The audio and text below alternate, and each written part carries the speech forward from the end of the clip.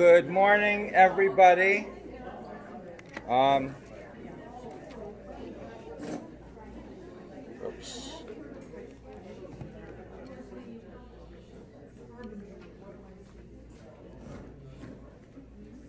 Good morning. Can you hear me okay? Okay. So, um, uh, so welcome back. I, I think most of you are back from last week, so that's a good sign.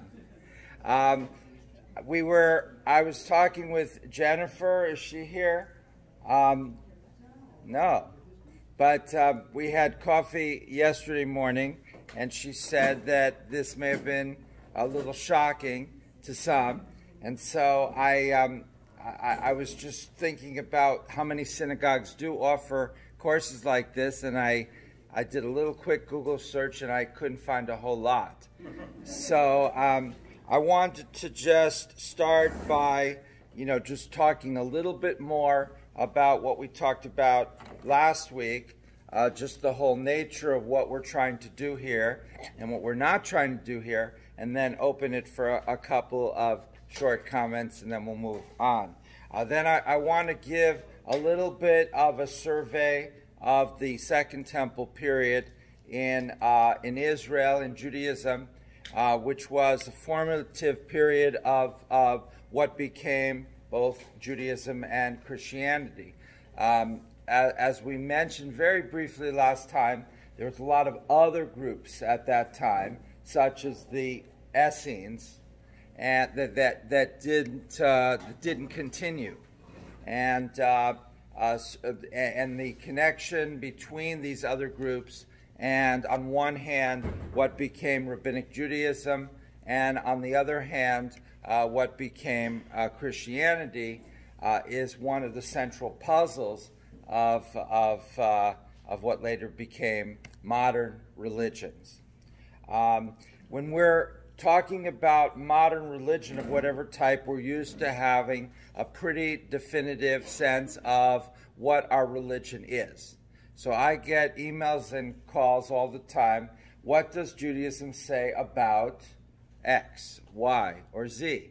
You know, what does Judaism say about abortion? Because, you know, the Supreme Court is about, probably about to overrule Roe versus Wade. So that's a hot topic. But there's a lot of other such uh, topics, and they expect me um, to be able to say in one paragraph or two paragraphs or maybe three minutes. And, and, of course, you know, our Friday night services start at 7, and so at about three minutes before 7, I usually get uh, somebody uh, as I'm running towards the front of the sanctuary says, Rabbi, just very quickly, what does Judaism say about capital punishment? And, and uh, so they really want me to say it's in favor, it's against, and uh, maybe one sentence, a very quick um, reason why or why not. So Judaism favors this or is opposed to this. Um, in addition, um, everybody knows that Christianity has certain central theological beliefs. So if you're if you want to be a Christian, you presumably believe in the uh, resurrection, the incarnation, uh, the Trinity. Uh, there's uh, there's a few others, and that um, you, you, believe in these things, and uh, you can explain them again in one or two sentences what that means and your explanation will more or less match what the Pope said about it last week. And uh, if there's a, too much deviation, then there could be a problem. So these are modern religions that have clear uh, definitions and boundaries. Jews, Jews practice Shabbat, uh, um, uh, uh, Christians have sacraments, and, and so forth and so on. And so we're going back 2,000 years when Judaism and Christianity, where Christianity was essentially um, a, a, group of Jews who had no sense that they were part of anything else. They were following a, uh, a leader, a teacher uh, named uh, Jesus, just like all sorts of other Jewish groups in the Second Temple period uh, followed uh, their, their groups. Uh, so the, the Dead Sea Scroll group, and I'll keep referring to this because there are some stark um, parallels. Um, although efforts to trace Christianity to the Dead Sea Scroll group have, have, have failed. Um, but uh, I remember I taught a course at uh, University of Missouri. Anybody from Missouri? Uh, and uh, that uh, they, um, uh, the, the student gave in a, a, paper where it's trying to show that certain Greek fragments in one of the one of the the caves found above Qumran, right off the Dead Sea, uh, were actually fragments of the New Testament, which would have been, uh, you know, which would have been really quite uh, um, amazing. Uh, but unfortunately, those fragments are unlikely, you know, very unlikely to have. They're very, very fragmentary. You know, just a few letters here and there, uh, but clearly in Greek, and so.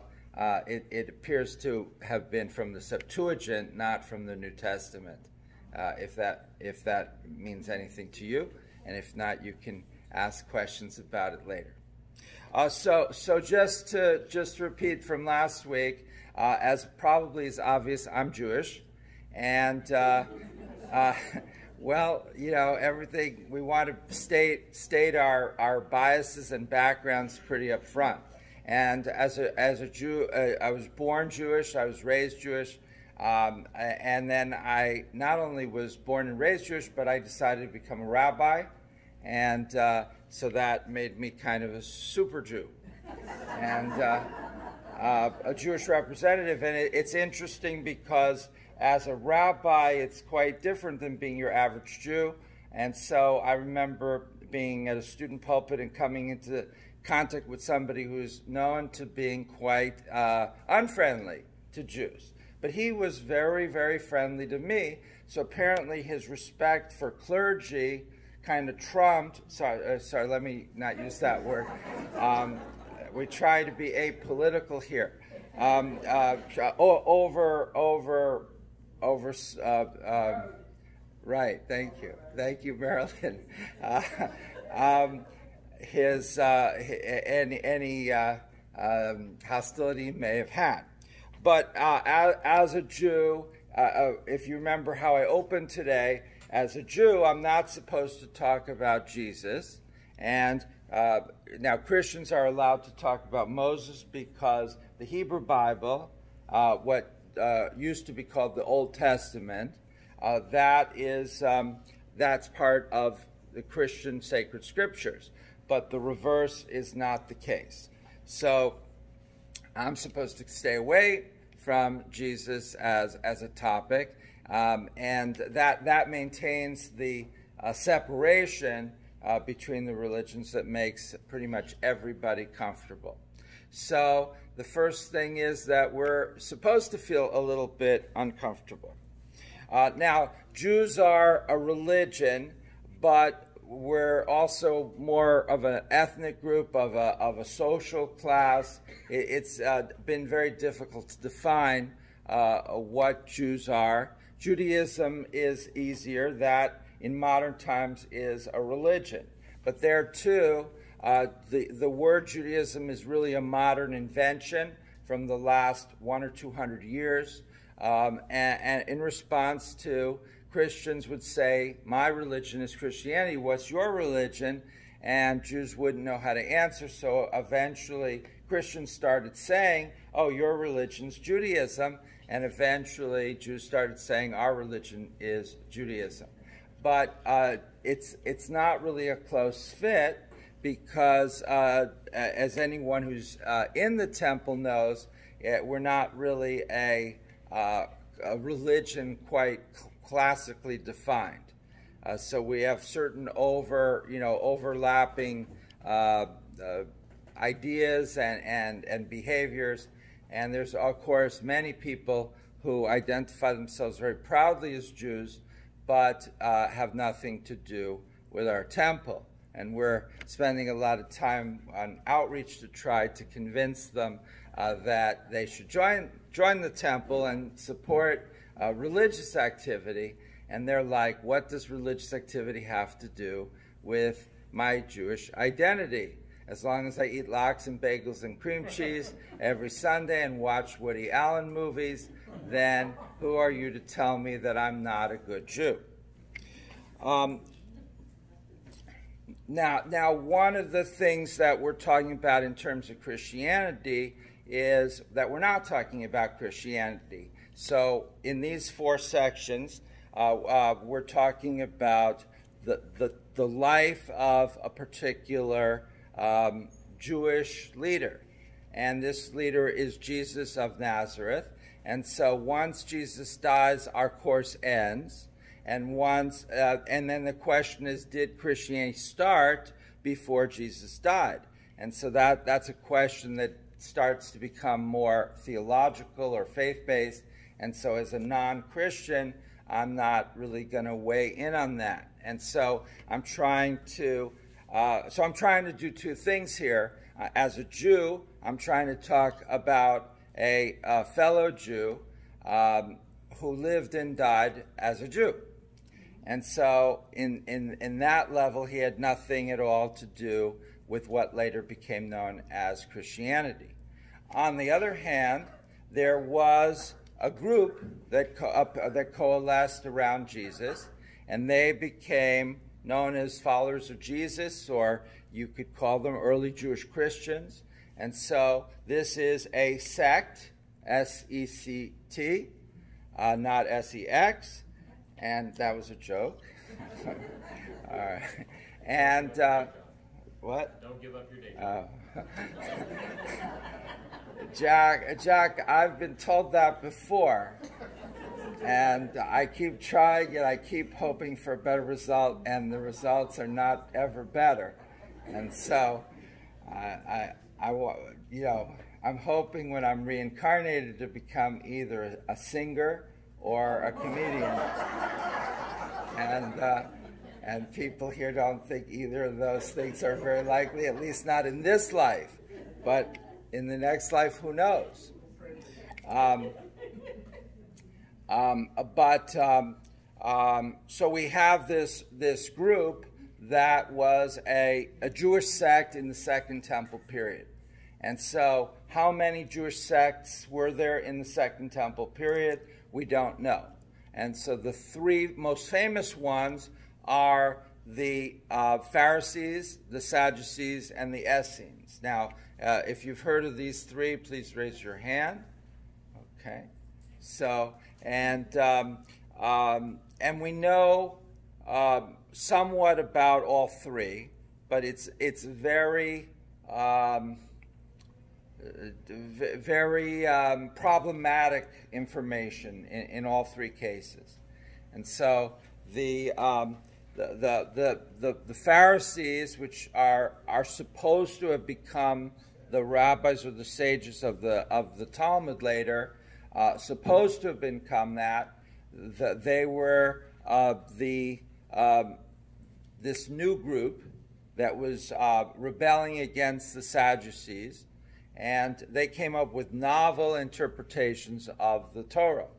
Uh, the problem is that most of what we know about the, the Pharisees, uh, although uh, they're mentioned quite a bit in the New Testament, and usually in a uh, oppositional form, so it's hard to know how much to, you know, how good is the New Testament as a, as a testament uh, to understand the Pharisees. You know, when you're, if Jack and I have a big fight, and then I say, I describe Jack in a document, and then 600 years they find this, how accurate is that to describe Jack? Well, we don't know. It's, it's, I'm angry at him, and so I may have said all sorts of things that are just completely off the wall just to denigrate him. So we don't know how accurate it is. On the other hand, it's probably got some level of truth in it.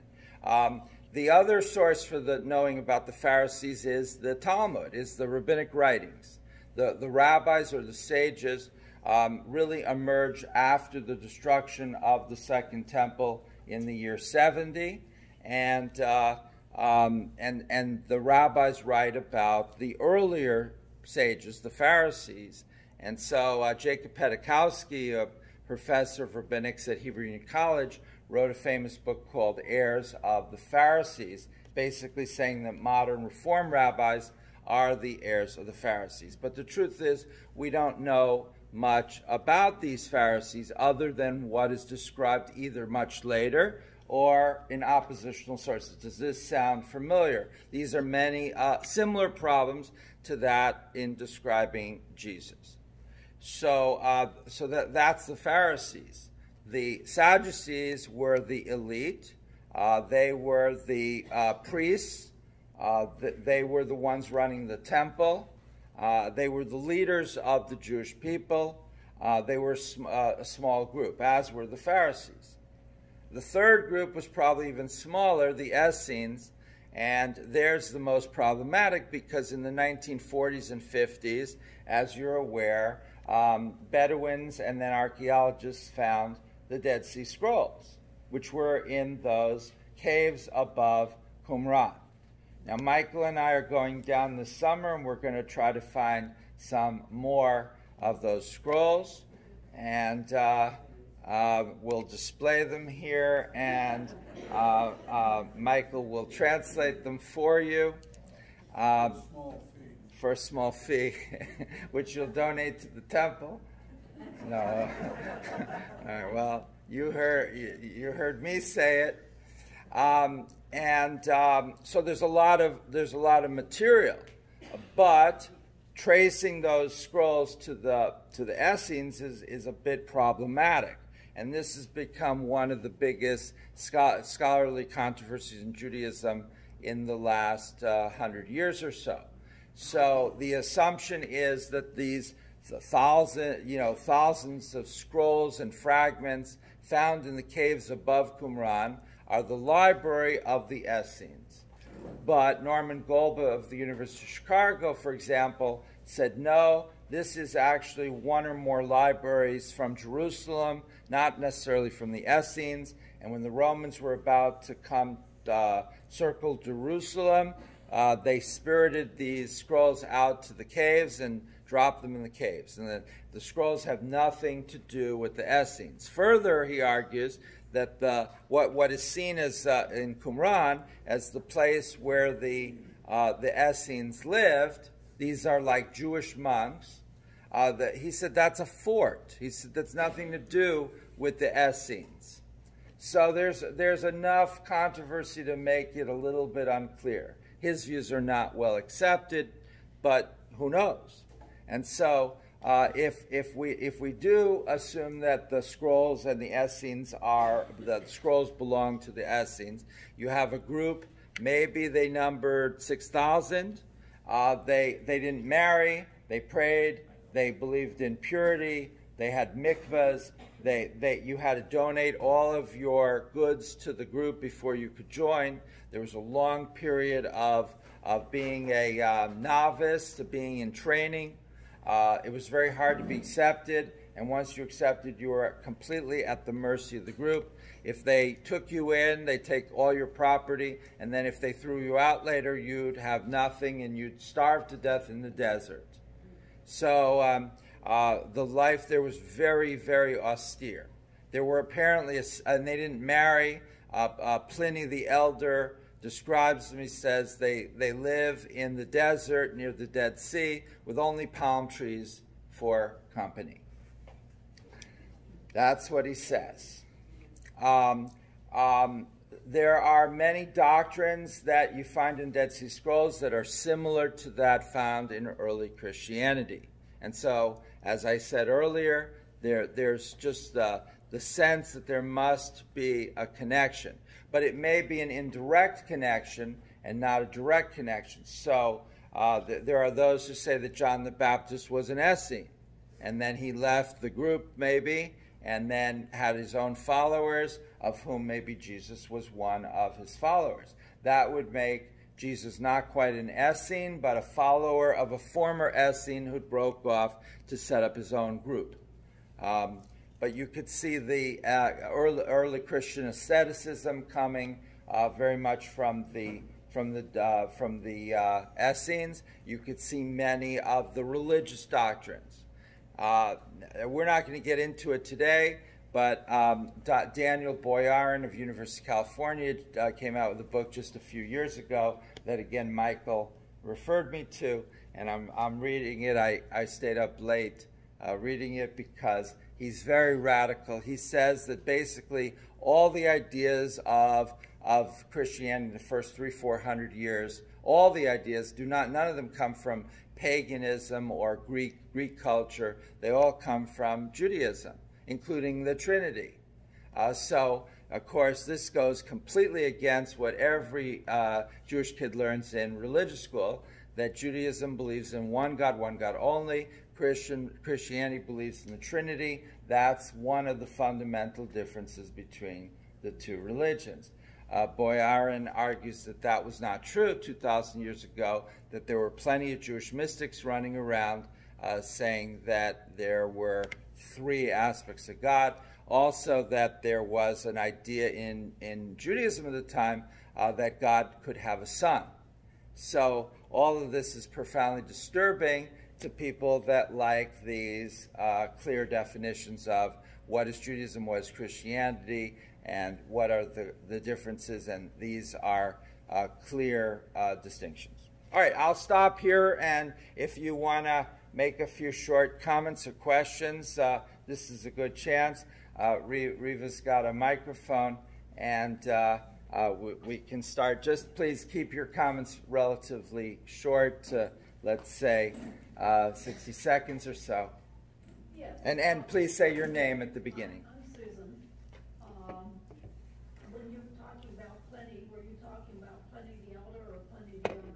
I believe it's Pliny the Elder, but I'm I'm citing it from memory, so I could be wrong.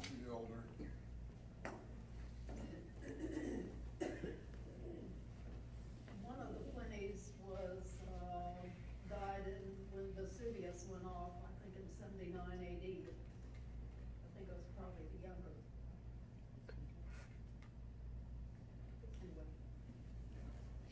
Anyway. I just, uh, Daniel Gross, thank you. Sorry, I have difficulty speaking, but uh, could you please spell the author's name and the text? Um, uh, which one? Daniel Boyarin? Yes. Uh, Daniel Boyarin, B O Y A R I N, and the book is called The Jewish Gospels, which is uh, in itself very provocative title because, of course, uh, Gospels are associated with Christianity. He's saying the Jewish Gospels so he's deliberately trying to, uh, if not provoke us, at least sell books. When was the uh, date it was written? Uh, about 10 years ago. 10 years ago. Oh, I, I, I spit too much when I talk. You really don't want to uh, anyone who's on the mic, please keep it close to your face.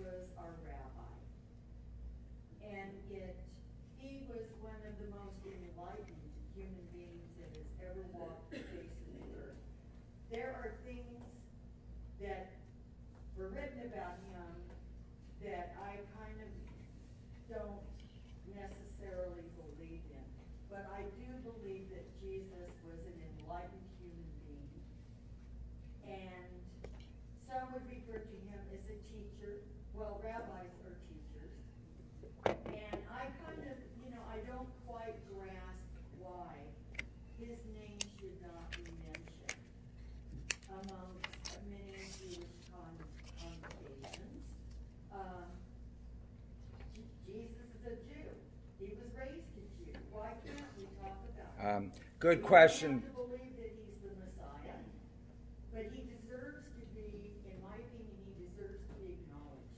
Thank you, Bonnie. All right, that's a that's a great question. So there, there's a couple of things in there.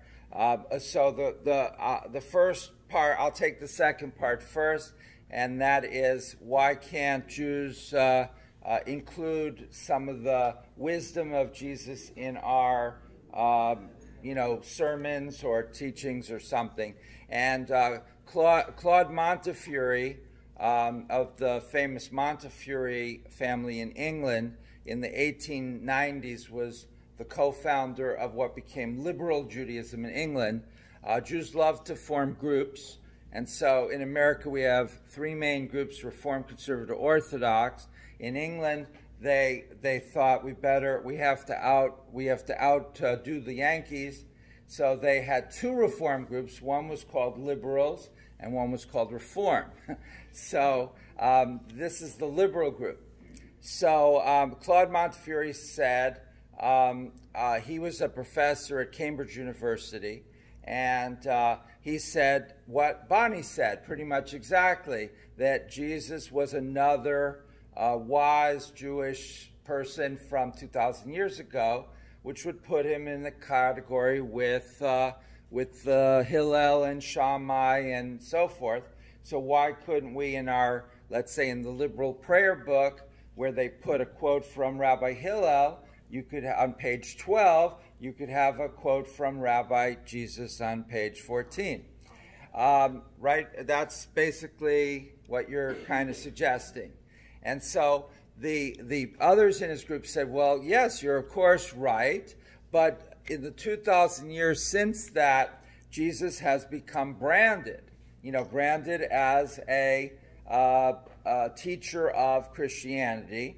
And so we simply can't undo that branding. So uh, while there's nothing in most of what he's quoted as saying, even in the New Testament, that would go against Judaism, we can't use him because he's already so associated with with another religion. Kind of like, I guess, if you if if there was a uh, a new amusement park and uh, Mickey Mouse's uh, copyright is expired, you can't use Mickey Mouse because he's so associated with his, you know, with certain things or or you know, you know, examples. Uh, one, what, let me just answer her rest, and then Bob, you can go next. Uh, the other part is Bonnie's use of the term Rabbi Jesus, and this is used by a number of people. Uh, Bruce Chilton, who's a professor at Bard College in New York, uh, suburban New York, he has a book uh, called Rabbi Jesus. Um, now, I, I, um, I don't think historically you could actually do that because we, I mentioned briefly those three groups the Pharisees, Sadducees, and the Essenes, and presumably the Pharisees led to the sages, which is the rabbis. And that's when rabbis came along. And if you recall, the Sadducees that I mentioned, they were the priests in Hebrew Kohanim, and they were the ritual and religious leaders of the Jews up until the destruction of the temple when the rabbis took over because there was no temple. The problem with calling Jesus a rabbi is the word rabbi, in a technical sense, refers to the, the, the, the scholars and um, uh, legalists of, of the Pharisaic tradition. So these were uh, uh, uh, a couple of hundred people, men mostly, who spent a lot of time, although not all their time, because most of them were trades. They were sandal makers and and locksmiths and that sort of thing.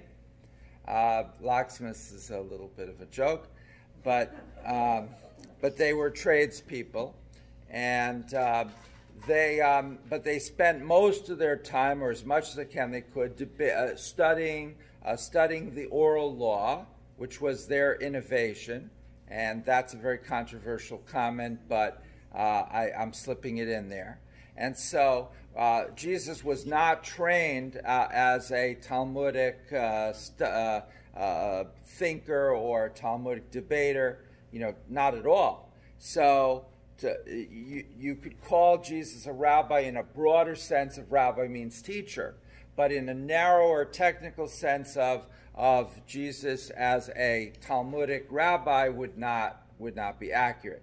So Bonnie is correct. You could call Rabbi Jesus in, the, in a very broad sense as a teacher Jesus, Jewish teacher Jesus, uh, but not in a technical sense. Okay, Bob? Oh, I'm Bob.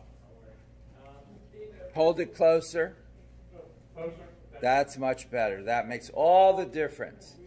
I, I want to use the microphone correctly. So, um, and as, as we talk about Jesus in this context, the Jesus that history records records a man walking around speaking about Judaism. And there was a divergence between one day there was Christianity and one day and one day there was only Judaism and then another day there was Christianity. At that divergence, that's when Judaism and Christianity separated. But as you report Jesus, as you, as, as rabbis in current uh, Reform rabbis talk about Jesus, Jesus offered no threat to the, to the, to, to the uh, Reform movement in either in Christianity or in Judaism, right? You're not, there's no reason why you wouldn't talk about Jesus. Um, so if we follow the Paula Fredriksen book, then she she says Jesus was a religious teacher and a social teacher, uh, and so according to the, to her um, uh, interpretation, uh, Jesus didn't form a threat to anyone, and indeed, as we said, there weren't just these three sects of Pharisees, Sadducees, and Essenes. There were hundreds of smaller groups, subgroups of the various three groups or other groups, and these followers of Jesus were were one or, or more of them. Actually, uh, now now these four sessions we're doing we're really only covering Jesus during his lifetime, and the split between Judaism and Christianity that Bob made reference to occurred later. Although when exactly that occurred is is uh, not you know I can't tell you in one sentence, but uh, it occurred sometime in the second century or, or even later. Uh, there were Jewish Christians running around for three or four hundred years who were still part of the uh, Jewish people and part of, of Judaism broadly conceived, although they very quickly became a, a minority within, uh, within early Christianity. But they existed and they continued to go to synagogue and to observe Shabbat and to do all these things. Eventually, some of them were just re- reabsorbed into Judaism, and some of them uh, were absorbed into Christianity. Uh, there's an interesting case of a, a, text that we have. It's basically a translation uh, slash interpretation of, of the Torah that was apparently written in Syria or, or, or Turkey. Um, and uh, uh, this text, we have the text, we don't know who did it, but the theory is that it was, uh, that it was produced by a group of, of uh, Jewish Christians uh, who were mostly still Jewish um, up in northern Syria somewhere. And that at some point after the, the completion of this work, they were absorbed into the uh, general Christian group and ceased to exist as a separate group. Uh, any any final comments at this point? And if not, I'm going to go on to the uh, uh, to the issue of the historical Jesus and the different theories. Um, yes, one more comment, a comment or, or, two more. Okay, hold it. Uh, one and then two. Where was the question?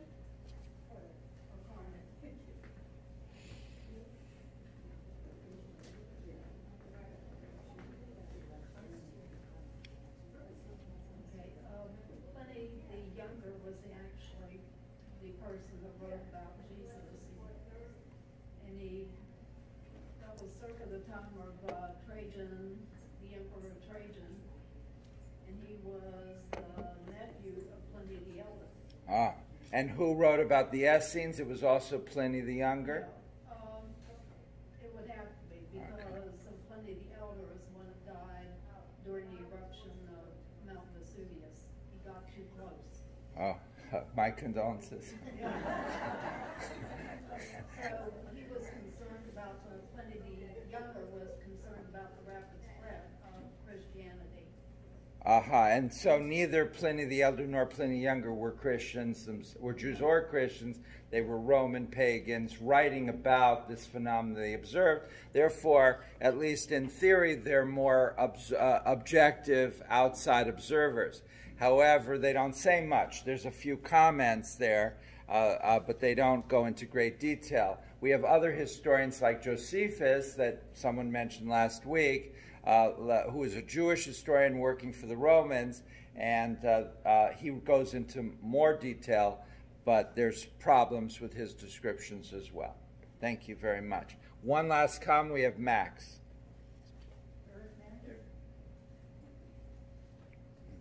And then hold the microphone close. I don't know how many people have read the book, but uh, closer. Uh, I think that's a very, I, I read it fairly recently. I found it very enlightening on a lot of this stuff. Uh, that's a, a, sword of Constantine is a history of anti Christian anti-Semitism. Um, he he. Uh, it's a very good book. It's a very long book. Uh, Max, how many pages? it's pretty good size. Okay. It's like it's like hundreds and hundreds. Well, um, he he is a little. He's a commercial writer, so he he's uh, he sometimes tends to be on the dramatic side, but that's a good thing sometimes. Um, I want to now move to um, the um, historical Jesus theory. So, uh, um, as I suggested, I'm doing two things in this in these four sessions. One is I'm giving uh, a Jewish perspective on Jesus, which is unusual to even talk about it.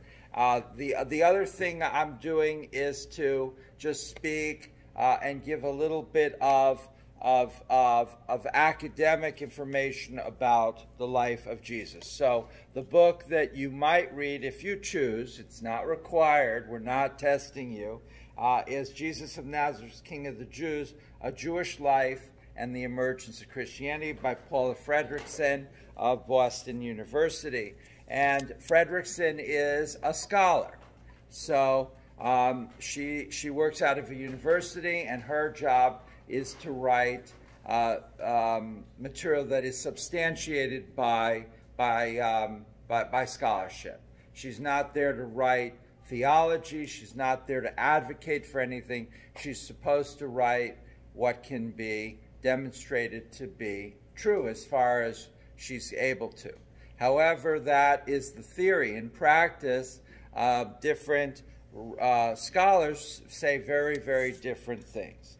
So, uh, in the last 200 years, there's been an interest in finding the historical Jesus. So, before that, there wasn't really even an effort to uh, say we want to strip away theology and polemics and we want to try to find what can we know about the actual person, uh, Jesus, who lived in uh, who lived in Israel in the first century. And Bart Ehrman, who's another professor, he's at the University of North Carolina. He writes a lot of books. Uh, in one of his YouTube videos, he jokes that when he starts his course uh, at University of North Carolina, Chapel Hill, one of the better universities, uh, he, he asks a series of questions. he says anyone that gets over a certain score, he'll take them out to dinner. And he said out of 200, 300 students, he, last year he took one student to dinner. And he said, these are not hard questions. For example, he said, what is Jesus' last name? And of course, the answer came back from some students, right? and um, now Christ means Messiah. And so Jesus Christ, so Jews would not refer to Jesus as Jesus Christ because that implies that we would accept uh, Jesus as the Messiah, which uh, of course we would not.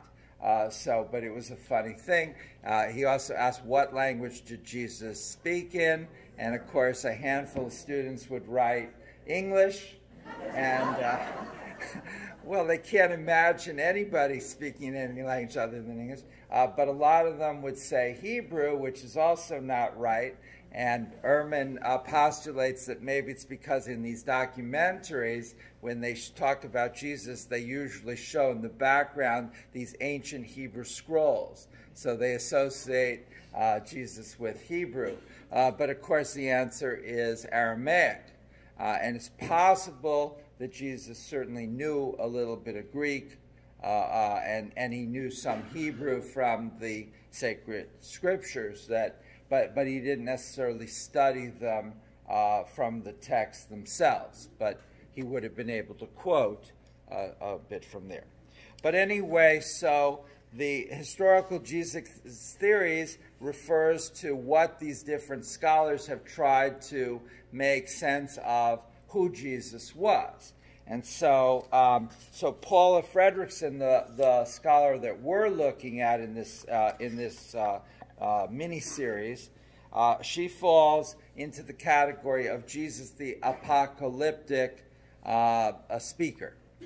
So apocalypse is when the world comes to an end in some sort, and she's arguing that Jesus saw the end of history as coming very shortly. And there's a number of other scholars in this, uh, in this school of thinking. Bart Ehrman, who I've mentioned, uh, E.P. Sanders, whose work I really like, uh, John P. Meier, who is a Catholic priest uh, teaching at Notre Dame, and, and, and many others. Um, but there's other um, um, scholarly uh, portrayals of Jesus other than Jesus the apocalyptic speaker. Uh, so, for example, there are those who see Jesus as a political revolutionary. Now, this is uh, this is the other most likely uh, scenario because, of course, the Romans, according to the New Testament, the Romans executed Jesus by crucifying him. And this was punishment done for political revolutionaries. And that's one of the central uh, problems that Paula deals with in her book, is that if she portrays Jesus as somebody who's preaching that the end of the world may come soon and that God alone can bring redemption, not people. So therefore, there's no, we just have to pray and repent and do good works and that sort of thing. But organizing politically to fight against the Romans is not the answer. Then why would the Romans execute him? You know, and that and she, she, I don't know if I want to give you the end of the book because then you won't read to the end. Uh, but, uh, but, but that's the central problem that she's trying to answer. Uh, but she, what she doesn't do is say that he was actually a political revolutionary. Um, but others do. Uh, Reza Aslan, you may have heard, he became very famous.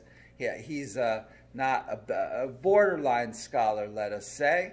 Um, but uh, he, he, uh, uh, he wrote a, a, very popular book which sold hundreds and hundreds and hundreds of thousands of copies about Jesus, in which he argued that Jesus was a political revolutionary. He called the book Zealot. And so you are all familiar with the Zealots who fought against the Romans in the, uh, they actually fought, or, or, or Jews fought three revolts against Rome. The first one was the Great Revolt, 66 to 73 uh, CE. So this is about uh, 40 years after Jesus' crucifixion. Um, and uh, then the second one was the Diaspora Rebellion, 115 to 117 CE. And the third one was the Bar Kokhba Revolt of 132, 135. And so there were three, three great battles against the Romans. Uh, and the Jews lost all three uh, catastrophically.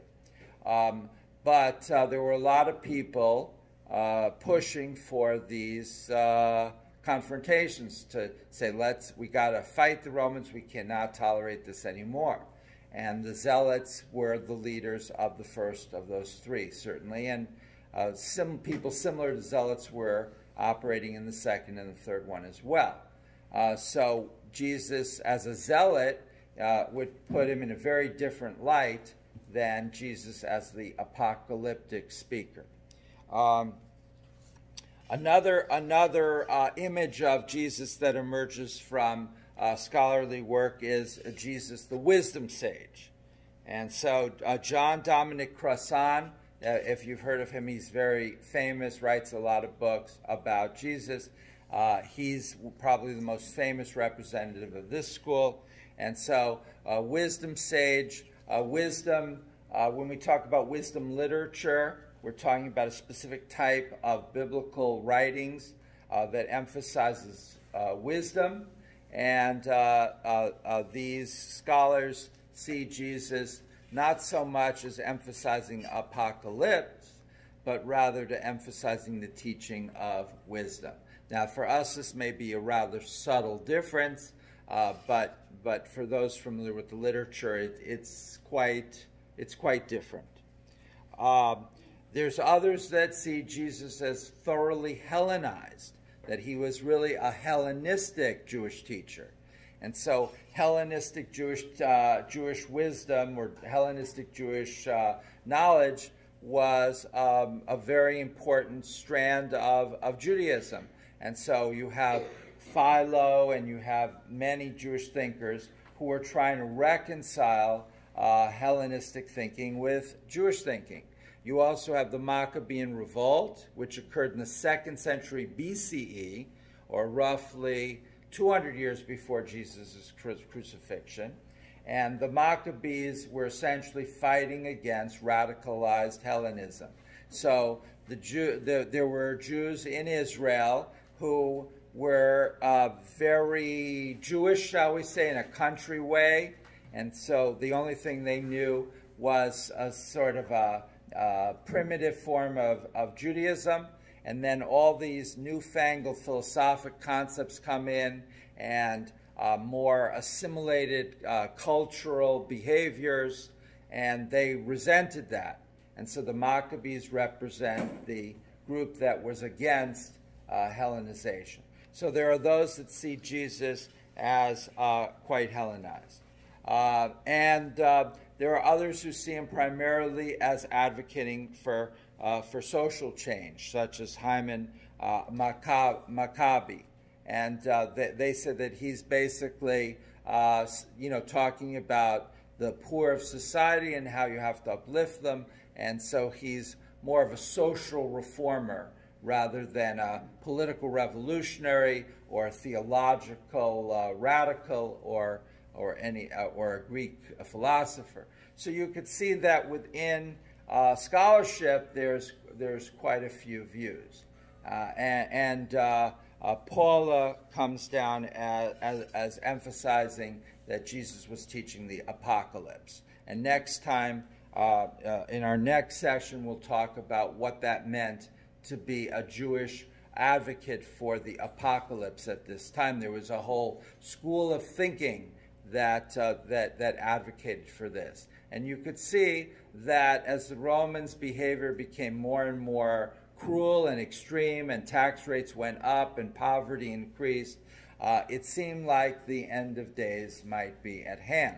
Now, this is a completely Jewish concept. There were various Jewish writers in the Bible and elsewhere who were saying this. So if Jesus was the way that Paula uh, portrays him, he would fit very nicely into the uh, religious debates of, of the late Second Temple period.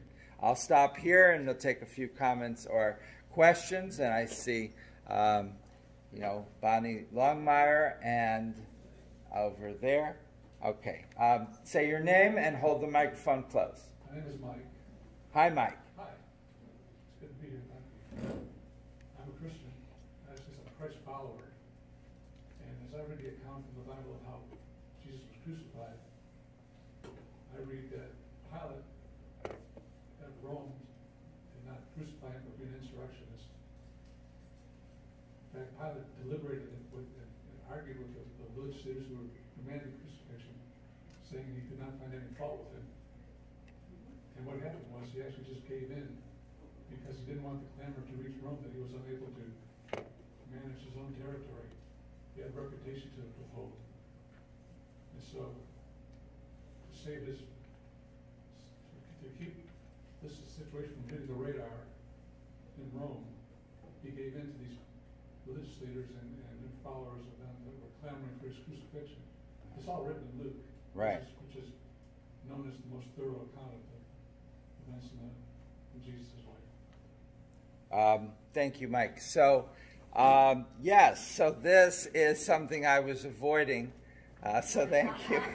Uh, um, but uh, uh, as I guess we all probably know, there are accounts in the New Testament and elsewhere that essentially uh, blame uh, the Pharisees or, or, certain Jewish leaders for pressuring Pontius Pilate to carry out the crucifixion. And uh, so, um, the, the, and, and there's a famous uh, um, paragraph in the book of Matthew where the Jews accept uh, the um, crucifixion as being uh, our responsibility, and we said the blood of, of, the, of the blood is on our hands, and we accept that. Uh, that's correct?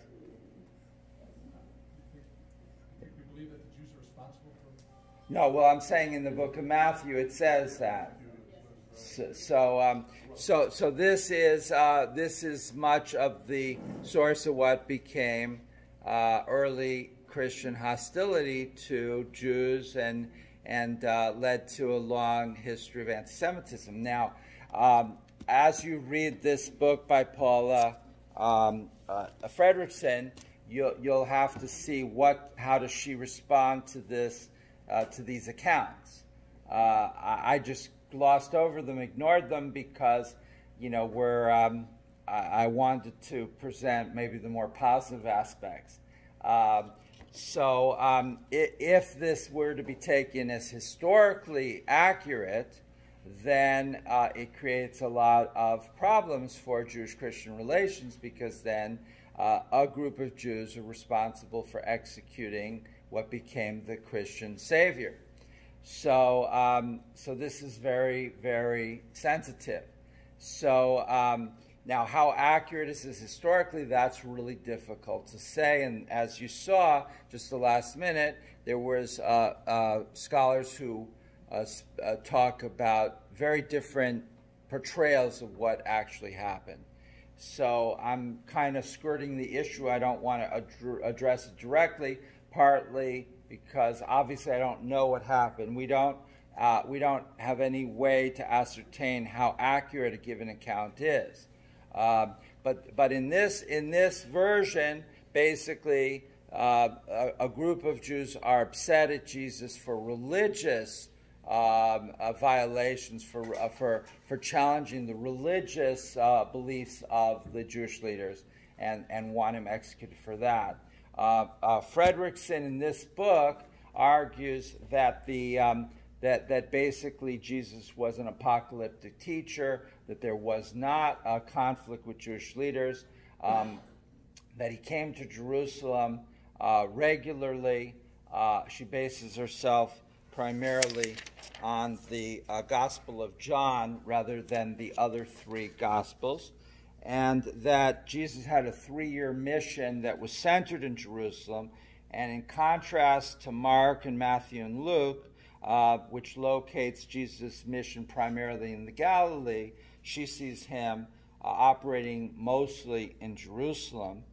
And, uh, and as I mentioned earlier, that God's uh, that Jesus' apocalyptic message was that God, rather than the Jews or rather than any other people, that God alone would establish God's kingdom, which is again a Jewish concept, and that the Romans feared the crowds rather than anything Jesus was saying, and so the Romans decided to crucify Jesus and others as a warning to the crowds who were, um, you know, threatening uh, rebellion. So this would basically discount the accounts that we're talking about as historically accurate. Uh, but I want to be very careful to say that that uh, you know that I don't know if she's right, but that that but that would be if we accept the, the accounts that we're talking about, then we have a much more serious problem in Jewish Christian relations today. So, Uh, Mike, do you want to respond? Uh, just in setting. Uh, hold, hold on, microphone. I just think that in this setting, it's designed to be an interfaith discussion about Jesus. And, and from the pulpit there, you have the opportunity to make statements that she had opportunity in her book to make suppositions that without being countered, don't paint the whole picture of what, what's going on. Um, I think that um, she's trying to be careful, but there's anybody writing about Jesus has to at some point make suppositions because there's just not a clear historical record. So you could go this way, you could go that way. I would, you know, I'm not, you know, I have a PhD in history, in Jewish history, but not in this exact area, of course. And I'm not trying to pin you down or anybody here about it. I'm just saying there are different beliefs that seem to be accepted based on individual preferences. Right, and uh, uh, and I accept that 100%, Mike. I think that um, that one of the reasons that we chose to follow this this one book is just to give us some some guideline. Um, and uh, is herself Jewish, and she presents a very uh, a friendly version of, of what happened. So it, it seemed like a good model. But I acknowledge that there are certainly other models out there. Um, but, but if we follow that version that the Jews are responsible for uh, killing Jesus, uh, uh, then, then we have a, a problem. Okay.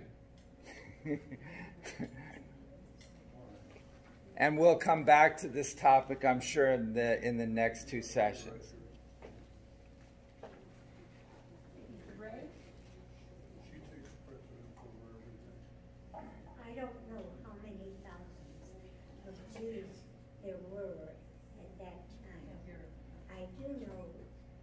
Pharisees were probably about 6,000, a small group that took, uh, that were connected with the, uh, the doings of the temples, the sacrifices, things of that sort.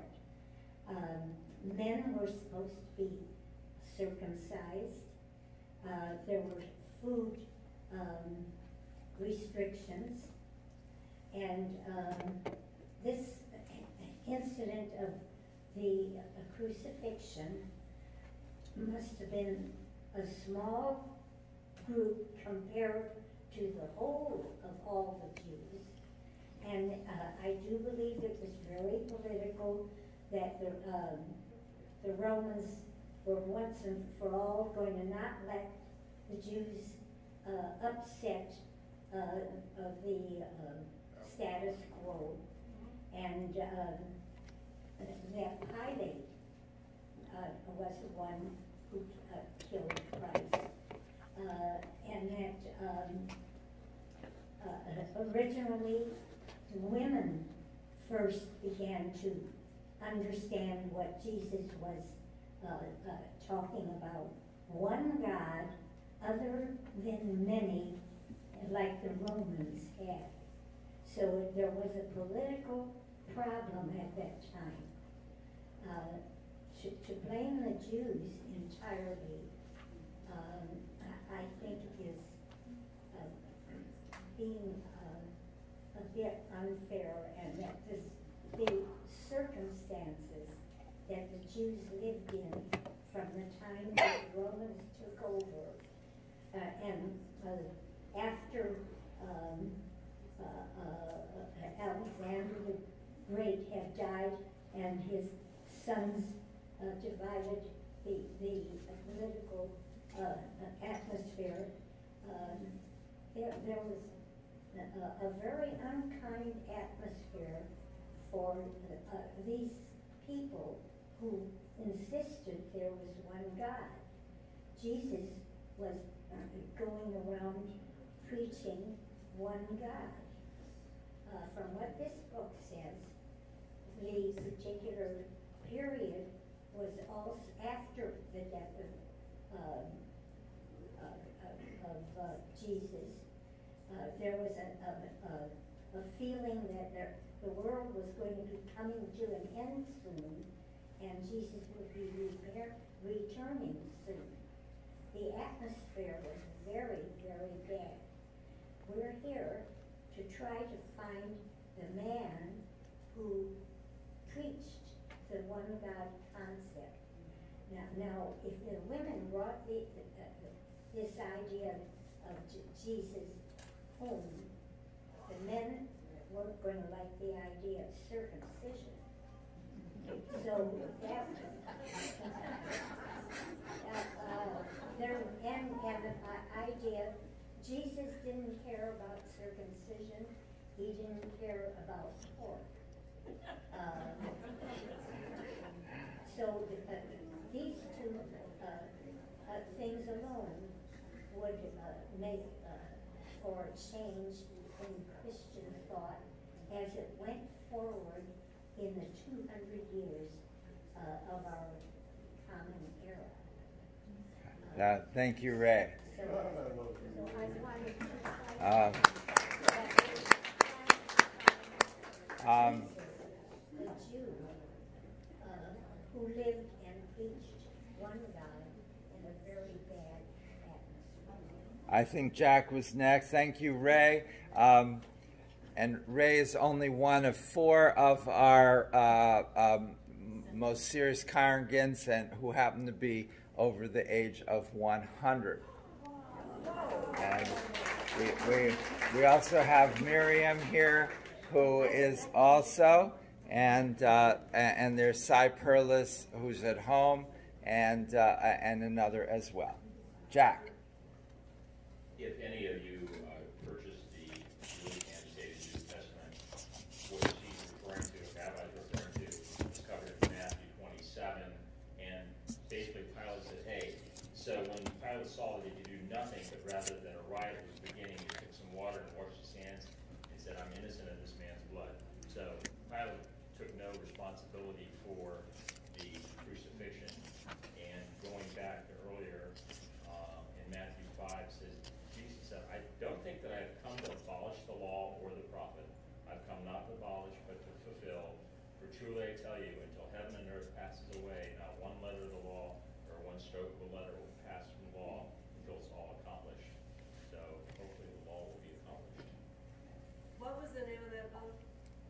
Um, the, the, this is The annotated Jewish, the Jewish annotated New Testament was one of the books that Rabbi shared at uh, Shul uh, a couple of weeks ago. It's basically the New Testament with annotation uh, written from a Jewish perspective. And it's not, it's not, you know, I've read through it, it's not any different than any other Bible that I own. It just has the annotation from a Jewish perspective. Um, uh, one or two more comments, and uh, we're, uh, with your permission, we'll go slightly over 11 a.m. So hopefully, You're buying lunch. uh, uh, Jack said, I'm buying lunch.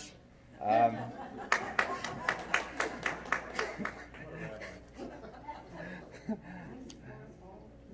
And so, I'm a classical historian, and commenting on the Romans, their method was sort of They didn't like any dissent, look at Masada. They didn't, uh, they had a certain mindset, so I would put most of the blame for Jesus' crucifixion on the Romans. They had the final say. Um, and um, th- this is a, a very large issue, um, and so we're gonna uh, we're, we're gonna talk about this uh, at you know in the next two sessions as well.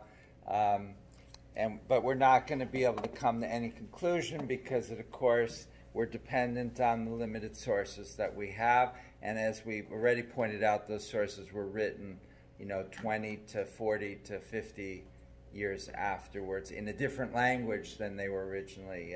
So it, it's uh, it's not going to be possible to come to any conclusive uh, decision. Just a, a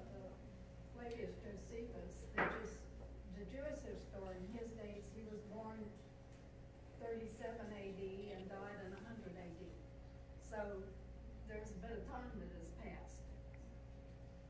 Yes, your name? Uh, hi, I'm Leslie. Hi, Leslie. uh, Um, you, Rabbi, you mentioned earlier when you said something about when, uh, when an individual writes about somebody, depending on their mood, determines, you know, how it, how it portrays, whether it's accurate or not. And, uh, even today, we see so much information, even if, if it's written by the author themselves, their own biography, that it could be, they can't remember exactly years and years ago. So things Right. are, I don't know if what I read about Pilate is one hundred percent accurate or not. But what I look at, when I look at the, the, uh, Torah and the New Testament is, I remember, and correct me, this is my question, is God, in one of the Old Testament, I can't remember which book, writes it on everyone's heart that he is their God. He created them, whether you believe in him or not, throughout the whole world, we are all God's creation. He wrote it on everyone's heart, Jew, Gentile, woman, man, whatever. I can't remember exactly what book it is in the Old Testament, but my feeling is I have a personal relationship with God. And through that relationship is how I interpret what I think, you know, along with what I get advice from rabbis and priests and my pastors. But uh, my question is, is that, am I accurate in what I just quoted about God writing on, on everyone's heart? And I do believe that the, you know, God sought out and, and chose Abraham, the Israelites, as his chosen people. I mean, to this day, I believe that. My doctor's Jewish, my lawyer, and my banker, because they're the chosen one. but no, seriously, I, I mean, I do believe that with all my heart, but I don't believe that God ig- ignored the others, the rest of us, you know, the Gentiles or whoever. And so I look at, uh, I have good friends who are Jewish that said, uh, Jesus to us is kind of like Luther is to the Catholics. Um, Luther was a good priest, and he didn't want to destroy the Catholic Church. He just wanted to show the areas where they were failing, where they were corrupt. And he wanted to have the one church still exist. Uh-huh. But I had a friend say, you know, your Jesus was out there, he's Jewish, he didn't, he came to feed the Jewish people. He even in, in, in the New Testament where he says to the woman where she's baking, she goes, don't you even give, you know, the scraps to the dogs. He says to her, I, I'm not here really for you. I'm here for the chosen people. And he was trying to correct the corruption. And uh, so I, it's, it's funny how, you know, we will sit and talk like this and they'll say, well, Jesus is, is like Luther. He didn't want to destroy, he didn't want to create a Christian church. He just wanted to bring to truth the corruption that was going on. But my question is, did God say that he wrote it on each of our hearts, that we will know, whether we're taught or not, we know that he is our God. I believe your quoting is uh, is accurate. I have to see the exact reference, but I believe so. I like. I, I mean, the, the the comparison of Jesus uh, and Luther is quite amusing. I, I, I, it does have a certain. Uh, um, it, it does make sense in a certain level. Uh, you said a lot of interesting things I don't have time to respond to uh, because we're over time, but we'll take at least one more question or comment. Yes. Thank you. Thank you for your comments there. Hi, my name is Catherine, and I'm a Christian. And for people who claim to be Christian and spout hatred, um, we would say they are not Christian because hatred is a tool of evil. And anti-Semitism is an abomination regardless of what Matthew says. for those who take that one passage out of Matthew and use that to justify anti-Semitism, we would call that an abomination. It is absolutely horrible, and anyone who is espousing hatred is causing evil to expand in the world. And that is not the basis of our Christian faith, because Jesus told us, love one another. It was his one commandment to us. And so. Uh, that's very beautiful. Um, now, of course, we still want to try to make historical sense of, of that scene in Matthew, and uh, we, we will come back to that. Um, it, it, it, it's a difficult it's a difficult passage to explain, uh, but that's beautiful thought. Um, uh, last question or comment, and then we'll call it a day. And uh, um, uh, Jack, uh, where are we having lunch? Uh, it'll be the most expensive restaurant in Sun City, and just tell the restaurant to bill it to my account. Um, oh, okay, Jack, and then and then Nick. Deuteronomy, what you were referring to, man, was Deuteronomy uh, eleven eighteen. You shall therefore lay these words of mine in your heart and in your soul, and you shall bind them as a sign on your hand, and they shall be front in your eyes, and you shall teach them to your children, talking them when you're sitting in your way. And that's why we have a mezuzah on our front door. Uh, and that's recited every every Friday night in our services, correct? Hi, my name is Nick, and um, I just want to quote the Gospel of John, chapter 10, verse 10b as a brother, where Jesus said, I came that you may have life and have it abundantly. Jesus came at a time when there were troubles in the, in the Jewish world, and he could see these troubles and people suffering at the hands of corrupt uh, church, uh, uh, synagogue leaders and the Romans themselves. And this uh, saying of I came to you life and that you can have it abundantly, to me is the most important thing that he ever said because it's not salvation that we're talking about, it's salvation from oppression and not a spiritual after death salvation. Uh, thank you, Nick. Uh, that's you said God, John, John chapter ten, verse ten. Verse 10, Bravo. There's two parts to that verse. Did you want to say something? There are two parts to the verse. Okay. Uh, I think that's it for today. We, we sorry we ran over a little bit. Um, I, I have a little time if anyone wants to talk to me up front.